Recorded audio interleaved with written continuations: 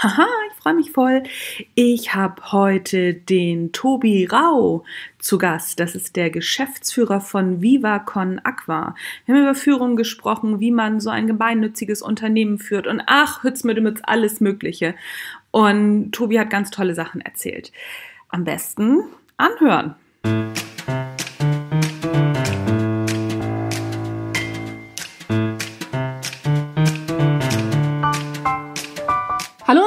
Herzlich willkommen beim Natural Leadership Podcast. Der Podcast, der dir dabei hilft, der Mensch bzw. die Führungskraft zu werden, die du sein willst. Du bekommst innovative Ideen, praktische Tipps, jede Menge Impulse, Impulse und neueste Informationen aus der Hirnforschung für deinen beruflichen Erfolg und deinen persönlichen Entwicklungsprozess.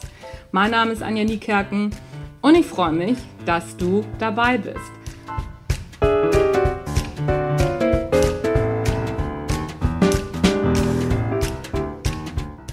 Heute freue ich mich noch viel mehr, denn ich habe zu Gast Tobias Rau.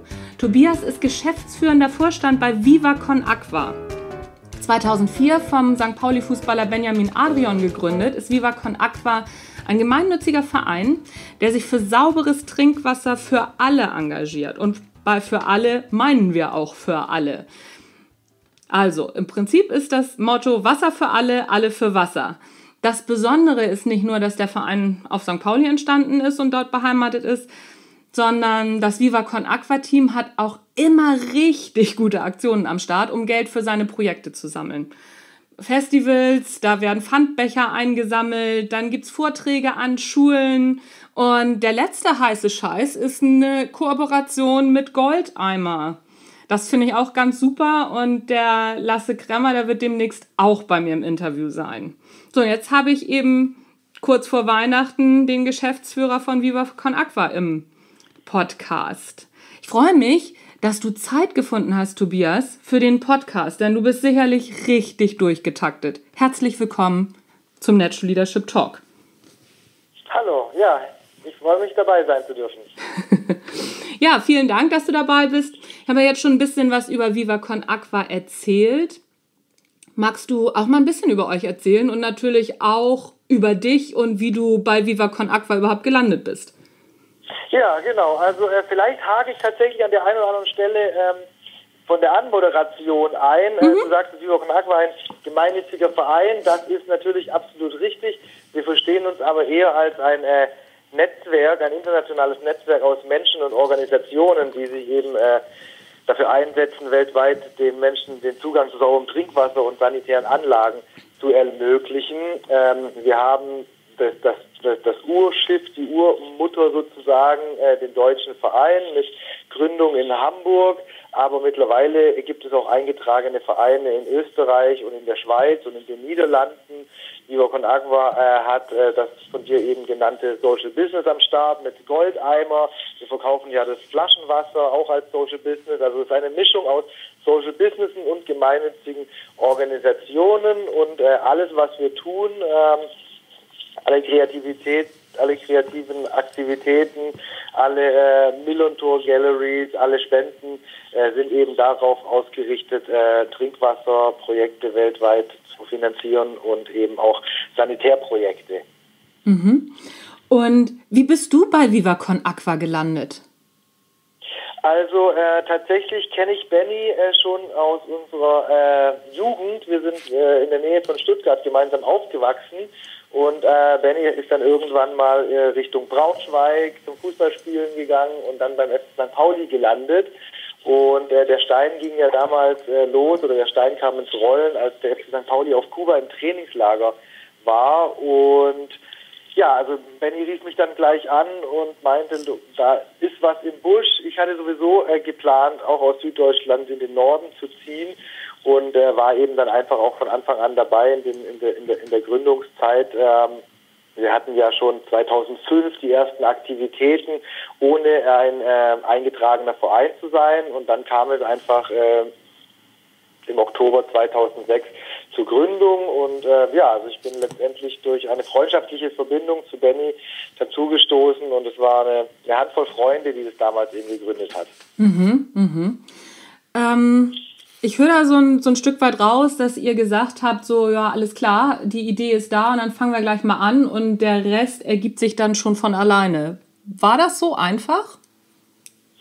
Ja, also so einfach weiß ich nicht genau, aber es war ziemlich genau so. Also wir hatten ja schon seit längerem die, die Idee irgendwie, äh, das, was uns Spaß macht, mit was Freudvollem, Sinnstiftendem zu verbinden.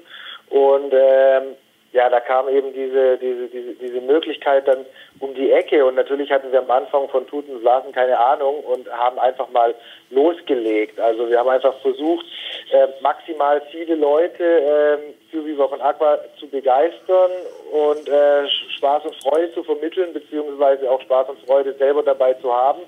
Und so kam dann eins zum anderen und auch äh, der Zulauf aus dem Kontext vom FC St. Pauli oder der gesamte Stadtteil hat dann sein Nötiges dazu beigetragen und wir waren ziemlich ähm, begeistert, dass das so erfolgreich und so gut verlaufen ist. Also wir haben dann innerhalb von einem Jahr ähm, das erste Projekt 153 äh, Trinkwasserspender auf Kuba innerhalb von einem Jahr dieses Geld zusammengesammelt. Ich glaube, es waren damals 40 oder 50.000 Euro und dann stellte sich eben die Frage, soll es das jetzt gewesen sein, eintagsfliegenmäßig, oder machen wir weiter? Und haben uns dann entschieden, weiterzumachen. Und ähm, ja, das war natürlich zur damaligen Zeit nicht absehbar, äh, wo das äh, hingehen kann. Und ich denke, wir sind auch jetzt noch, das, wir sind auch jetzt noch nicht am Ende der Fahnenstange angelangt. Aber ähm, letztendlich die DNA war eigentlich von Anfang an dieselbe, die gleiche, wie sie jetzt auch noch ist. Äh, Viva Con Agua versteht sich als, als Plattform, als Netzwerk, um Leute zu sozialem Engagement zu motivieren und eben durch kreative, freudvolle Aktivitäten Gelder zu sammeln. Mhm. Warum hat Benny ausgerechnet dich angerufen? Ich meine, der wird ja noch ein paar mehr Kumpels gehabt haben, aber warum hat er ausgerechnet dich für dieses Projekt angerufen? Was, was konntest du? Warum hat er gesagt, so, ah Mensch, den kann ich dazu gebrauchen?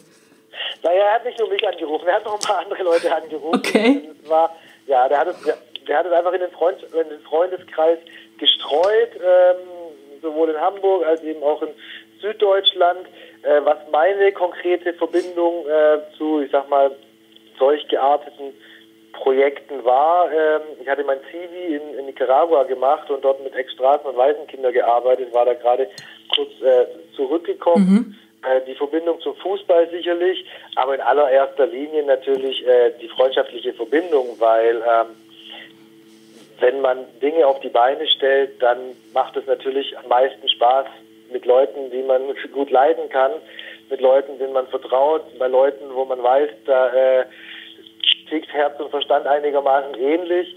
Und ähm, ja, also ich denke, das war gar keine großartige strategische Überlegung, sondern Benny hat es einfach mit seinen Freunden geteilt und äh, auch einige sind dann gleich mit aufgesprungen. Mhm. Ähm, glaubst du, dass es einfacher ist, wenn man ja freundschaftlich verbunden ist und dann was zusammen aufzieht, als wenn man, ja, sag ich mal, das einfach in so einem Business-Kontext macht?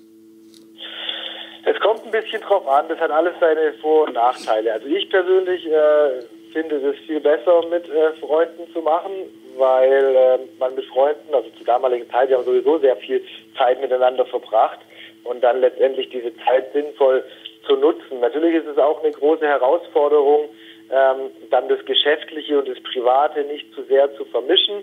Ähm, das es hat bei uns tatsächlich dann nicht geklappt. Wir haben Privates und äh, Berufliches sehr stark vermischt oder zumindest phasenweise war mhm. das so. Mhm. Ähm, da muss man aber sehr stark einfach im Austausch und der Kommunikation bleiben, äh, über äh, Gefühle, Wünsche und Bedürfnisse eben einfach intensiv sprechen, damit da keine komischen Vibes aufkommen. Und es ist letztendlich schon einfach auch eine, eine, eine Arbeit äh, in der Beziehung und an sich persönlich. Also das ist letztendlich ja bei jeder Beziehung so, ob die jetzt äh, Mann-Frau-Beziehung ist oder freundschaftliche mhm. Beziehung oder in einem Team. Da, wenn man sehr viel Zeit miteinander verbringt, wenn man sehr, wenn man dann eben auch ähm, berufliches und freundschaftliches irgendwie sich dann überschneidet, dann ist es einfach ja sehr wichtig, da in einem intensiven Austausch zu sein und zu bleiben. Mhm. Mhm. Ähm Wie ist es bei euch, wenn du sagst, auch im Team muss man sich immer stark austauschen?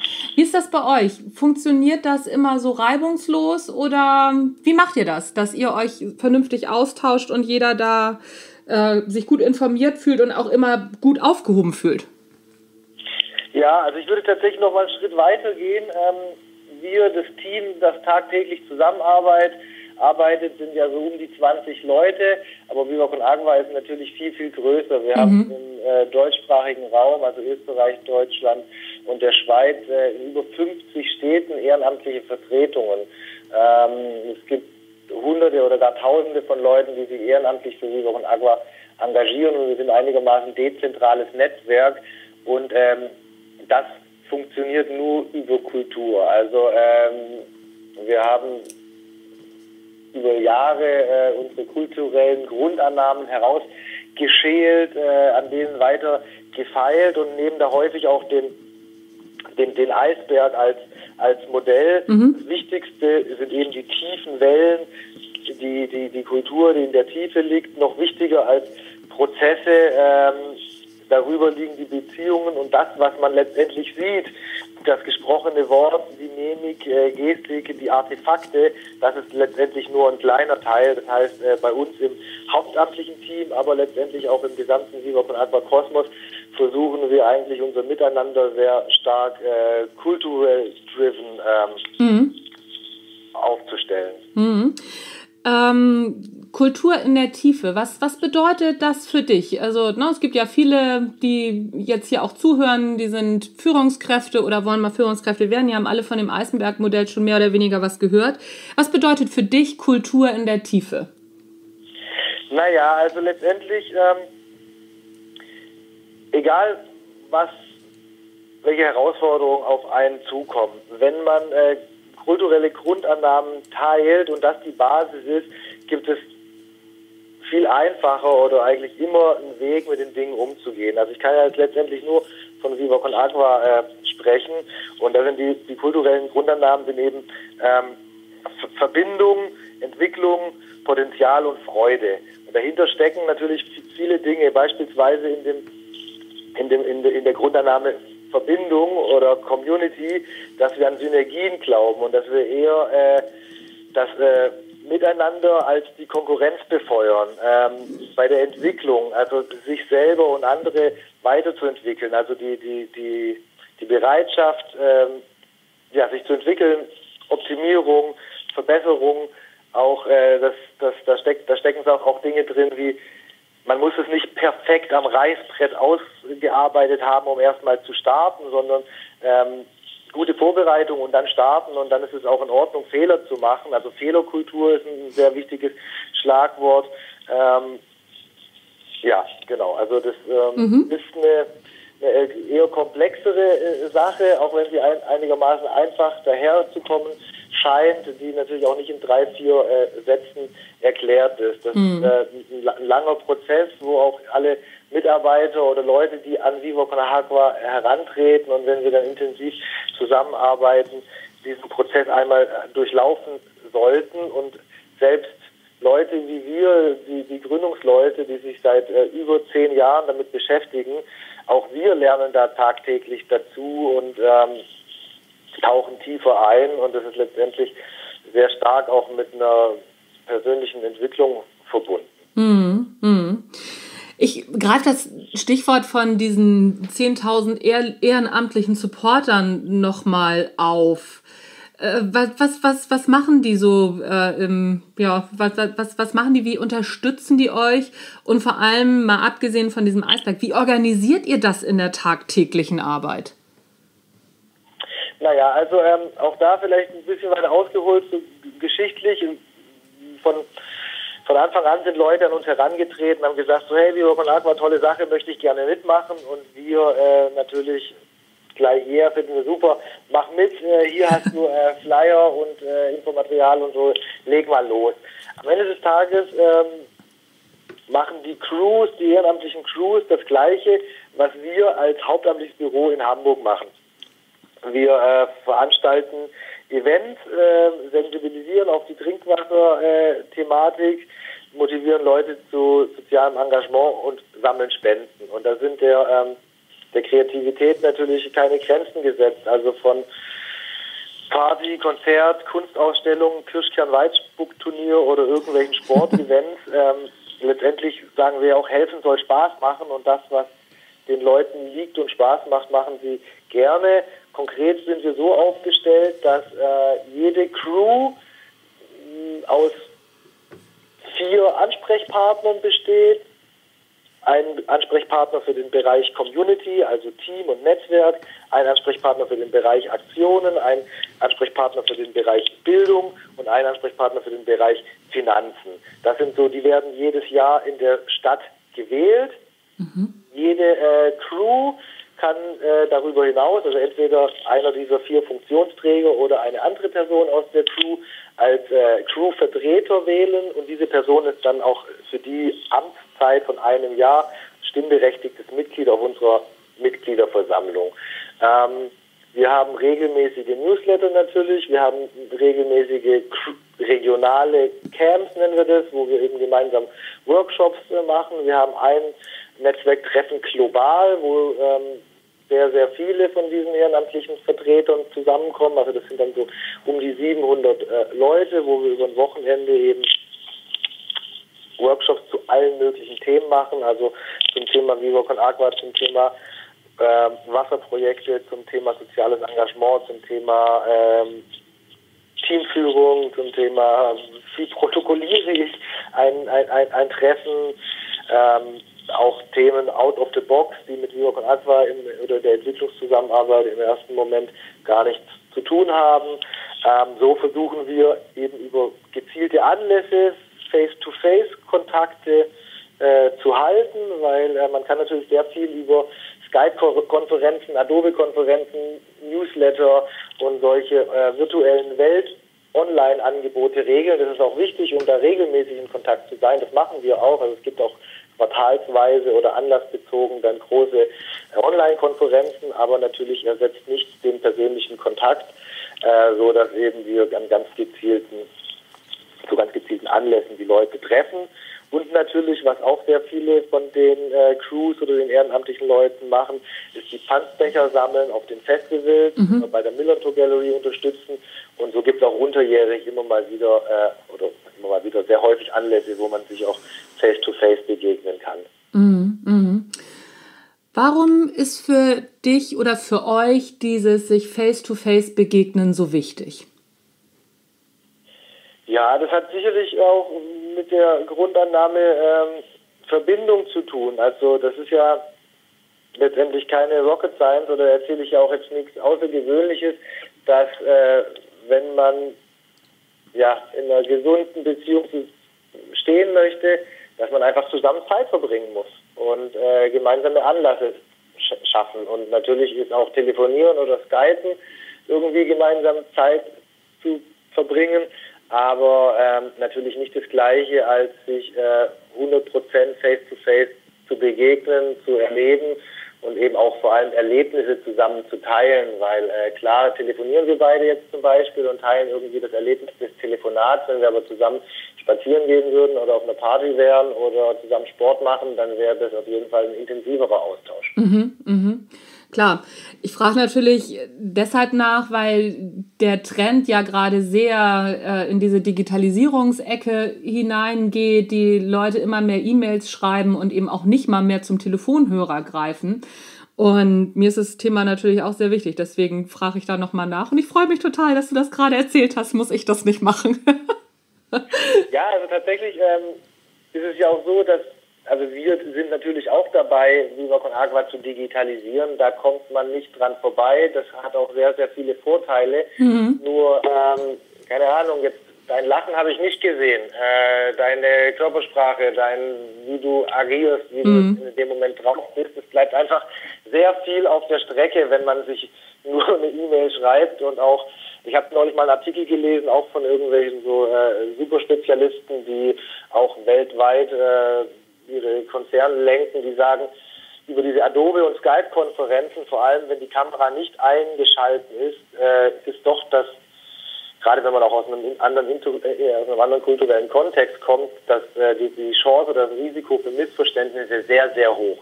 Weil man doch, wenn man sich face-to-face -face sieht und ein Gespräch hat, da spürt man dann doch eher, wenn irgendwas nicht passt, weil irgendwie der Gegenüber irgendwie komisch geguckt hat und man kann viel schneller und direkter und ad hoc korrigieren und da reingehen. Ähm, ich glaube, die Mischung macht's. Also sowohl äh, telefonieren und online und E-Mail. Man kann sich ja nun mal nicht jeden Tag mit der ganzen Welt treffen, mhm. aber Anlässe zu schaffen, um sich wirklich äh, face-to-face -face auszutauschen, ist für uns auf jeden Fall essentiell. Ja, ja, sehr schön. Gefällt mir sehr, sehr gut. Wie ist denn das? Ich habe vorhin schon rausgehört, dass äh, die, die äh, Teams gegenseitig, also dass, dass die immer bestimmte Vertreter wählen. Was, was hältst du denn von diesen neueren Führungsphilosophien der Stunde wie Scrum oder Agile, also oder agiles Führen? Habt ihr da, habt ihr da Erfahrung mit oder habt ihr das einfach alles so aus dem Bauch heraus so entwickelt? Also ja, wir haben es eigentlich aus dem Bauch heraus entwickelt, wobei wir natürlich auch äh, Unterstützung hatten. Wir haben natürlich auch äh, einen Coach oder Coaches bekommen und auf Workshops teilgenommen und uns selber dann auch da weitergebildet, aber letztendlich äh, schon auch einfach selber ausprobiert. So, das ist natürlich, glaube ich, das Wichtigste, was für ein Stil denn Viva von Aqua haben will oder braucht, was auch die handelnden Personen sich wünschen oder was ihnen liegt. Von daher war das schon auch so ein bisschen so ein Learning by Doing und äh, wir halten das bei Viva von Agua eigentlich so ein bisschen wie eine Fußballmannschaft. Also ähm, Hauptsache die Positionen sind besetzt. Es muss immer einen Trainer geben und es muss immer jemand geben, der führt, der führt oder ein Projektleiter. Aber in verschiedenen Projekten können verschiedene Teammitglieder unterschiedliche Rollen einnehmen. Also ähm, natürlich gibt es für uns gewisse Hierarchien und natürlich gibt es auch gewisse äh, Unterschiede so in der Verantwortlichkeit. Aber letztendlich versuchen wir, wo es geht, doch die Hierarchien flach zu halten und äh, letztendlich auch ähm, in dem Bewusstsein zu sein, dass jeder, dass jedes Teammitglied einfach essentiell ist und dass wir als Gemeinschaft äh, mehr sind als die Summe seiner Teile. Und ähm, wie gesagt, der Projektleiter ähm, oder Führungsmensch im Projekt Y kann auch eine supportende oder eine ganz andere Rolle in einem anderen Projekt einnehmen. Das ist schon mhm. ein wichtiger äh, Grundsatz bei uns, äh, bei Team- und Projektorientierung. Zum Beispiel äh, handhaben wir das auch mit seit vielen Jahren äh, als also Arbeitszeit, Vertrauensarbeitszeit. Prinzipiell es ist egal, wann und von wo du deine Arbeit verrichtest. Es kommt natürlich ein bisschen auf die Job Description an. Es kann nicht jeder zur gleichen Zeit ähm, unterwegs sein oder Home oder World Office machen. Mhm. Aber im Rahmen der Job Description und der Aufgaben ist es prinzipiell den Leuten freigestellt, wann und von wo sie ihre Arbeit machen. Mhm. Mhm.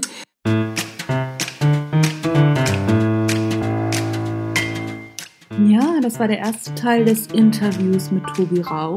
Der zweite Teil ist im Prinzip gleich hinten dran. Kannst du also gleich weiterhören oder du hörst es morgen oder übermorgen oder nächste Woche, ganz wie du willst.